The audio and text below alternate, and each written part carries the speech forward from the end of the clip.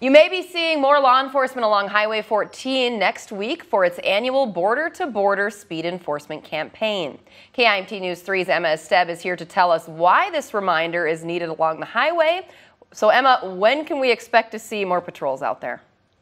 Yeah, Cami, this campaign is happening on July 3rd and is part of its Towards Zero Deaths organization. And so it's working to raise awareness by having more patrols actually enforcing the speeding laws that are posted on that day. So on July 3rd, the Olmsted County Sheriff's Office will join with other law enforcement agencies statewide and have extra patrols along Highway 14 from the South Dakota border to the Minnesota border. Speeding continues to be a leading cause of death on Minnesota roads. Last year, over 100 motorists died in speed-related crashes, and according to Sheriff Torgerson, they've already seen 40 more deaths this year than last year on their highways.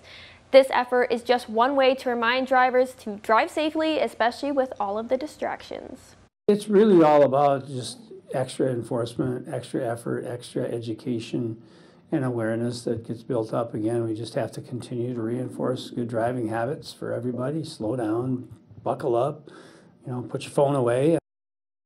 And Sheriff Torgerson says they hope for this campaign is to have every driver operate safely and drive the posted speed limit. But if drivers do not, then officers will take the appropriate action to make this highway safe.